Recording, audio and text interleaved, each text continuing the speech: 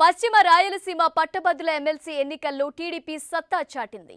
TDP అభ్యర్థి భూమిరెడ్డి రామ్ గోపాల్ రెడ్డి విజయాన్ని అధికారికంగా ప్రకటించాల్సి ఉంది. ఆయనకు వెయ్యి పైచీలకు ఓట్లు మెజారిటీ వచ్చినట్లు సమాచారం అందుతోంది.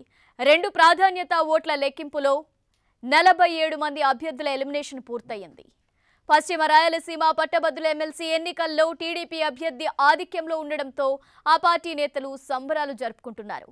ఉత్తరాంధ్ర కోస్తా సీమ జిల్లాల్లో టీడీపీ నేతలు స్వీట్లు పంచుకున్నారు.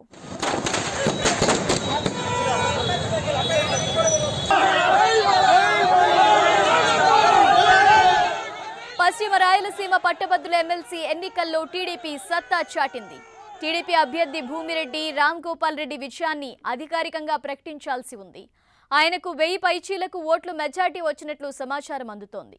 రెండో ప్రాధాన్యత ఓట్ల లెక్కింపులో నలభై ఏడు మంది అభ్యర్థులను ఎలిమినేషన్ పూర్తయింది. పశ్చిమ రాయలసీమ పట్టభద్రుల ఎమ్మెల్సీ ఎన్నికల్లో టీడీపీ అభ్యర్థి ఆధిక్యంలో ఉండడంతో ఆ పార్టీ నేతలు సంబరాలు జరుపుకుంటున్నారు. ఉత్తరాంధ్ర కోస్తా సీమ జిల్లాల్లో టీడీపీ నేతలు స్వీట్స్ పంచుకుంటున్నారు. అయితే పశ్చిమ రాయలసీమ పట్టభద్రుల ఎమ్మెల్సీ ఎన్నికల్లో నైతిక విజయం వైసీపీదేనన్నారు వెన్నపూస రవీంద్రారెడ్డి. కౌంటింగ్ అక్రమాలపై కోర్టును ఆశ్రయిస్తామన్నారు. ఓట్లు తారుమారుపై కేంద్ర ఎన్నికల సంఘానికి ఫిర్యాదు చేస్తామన్నారు రవీంద్రారెడ్డి. వైసీపీ ఇండిపెండెంట్ ఓట్లు టీడీపీ ఖాతాలో వేశారని ఆరోపించారు ఆయన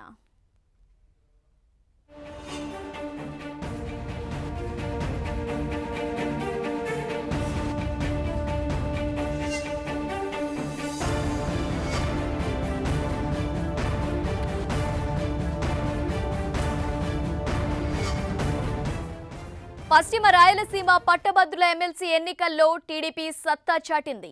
టీడీపీ అభ్యర్థి భూమిరెడ్డి రామ్ గోపాల్ రెడ్డి విజయాన్ని అధికారికంగా ప్రకటించాల్సి ఉంది. ఆయనకు వెయ్యి పైచీలకు ఓట్లు మెజార్టీ వచ్చినట్లు సమాచారం అందుతోంది. రెండో ప్రాధాన్యత ఓట్ల లెక్కింపులో నలభై ఏడు మంది అభ్యర్థుల ఎలిమినేషన్ పూర్తయింది.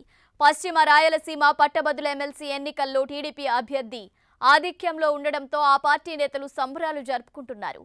ఉత్తరాంధ్ర కోస్తా సీమ జిల్లాల్లో టీడీపీ నేతలు స్వీట్స్ పంచుకుంటున్నారు. అయితే పశ్చిమ రాయలసీమ పట్టభద్రుల ఎమ్మెల్సీ ఎన్నికల్లో నైతిక విజయం వైసీపీదేనన్నారు వెన్నపూస రవీంద్రారెడ్డి. కౌంటింగ్ అక్రమాలపై కోర్టును ఆశ్రయిస్తామన్నారు. ఓట్ల తారుమారుపై కేంద్ర ఎన్నికల సంఘానికి ఫిర్యాదు చేస్తామన్నారు రవీంద్రారెడ్డి. వైసీపీ ఇండిపెండెంట్ ఓట్లు టీడీపీ ఖాతాలో వేశారని ఆరోపించారు ఆయన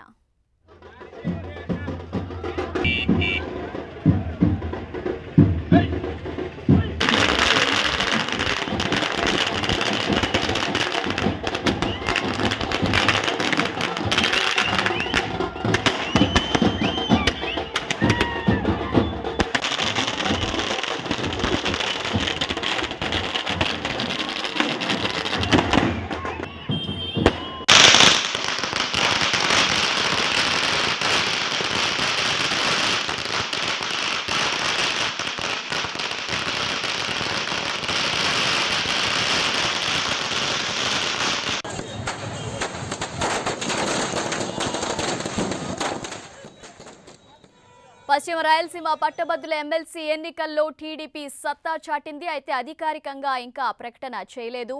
వైసీపీ ఇండిపెండెంట్ ఓట్లు టీడీపీ ఖాతాలో వేశారని వైసీపీ అభ్యర్థి రవీంద్రారెడ్డి అంటున్నారు. ఇక ఆ పార్టీ నేతలు టీడీపీ పార్టీ నేతలు సంబరాలు జరుపుకుంటున్నారు.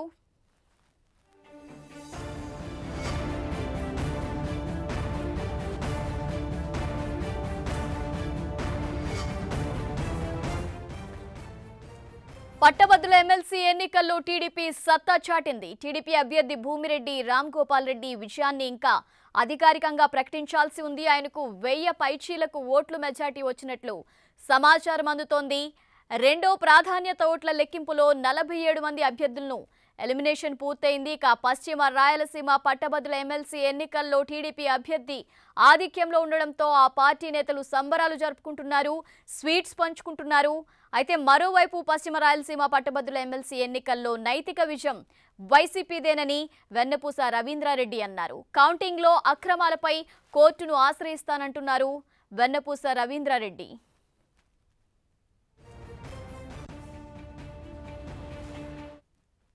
ఉన్నాయో ఆ కట్టాలన్నీ కూడా రీవెరిఫై చేయండి అని చెప్పి మేము నిరసన వ్యక్తం చేస్తే కూడా ఆమె మాకు సరైనటువంటి స్పందన మాకు ఇవ్వలేదు. ఏదైనా ఉంటే రిటర్న్గా రిటర్న్గా మీకు ఏ రూల్ పొజిషన్ ఉందో ఆ రూల్ పొజిషన్ మేరకు మీకు రాసిస్తానని చెప్పి చెప్పడం జరిగింది.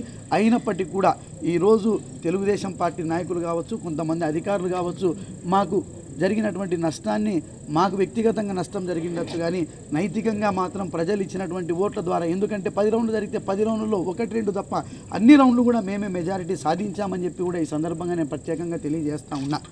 కేవలం కేవలం ప్రియారిటీ వైజ్ ఆధారంగా అంటే బీజేపీ దాంట్లో జరిగినటువంటి బీజేపీ వాళ్ళని ఎలిమినేట్ చేస్తే వచ్చినటువంటి ఓట్లు ఎనిమిది వందల ఓట్లు మెజారిటీ అదేవిధంగా నాగరాజు గారు అంటే పీడీఎఫ్ బలపరిచినటువంటి అభ్యర్థి చంద్రబాబు నాయుడు గారు వామపక్షాలు కలుపు కలుపుకొని ఒకరికొకరు పరోక్షంగా మద్దతు ఇచ్చుకుంటే వచ్చినటువంటి మెజారిటీ కేవలం ఈ రెండు మెజారిటీలు మాత్రమే తెలుగుదేశం పార్టీకి దక్కింది తప్ప ప్రజలు నేరుగా వేసినటువంటి ఓట్లన్నీ కూడా వైఎస్ఆర్ కాంగ్రెస్ పార్టీ అభ్యర్థికే ఈరోజు మెజారిటీ రావడం జరిగింది.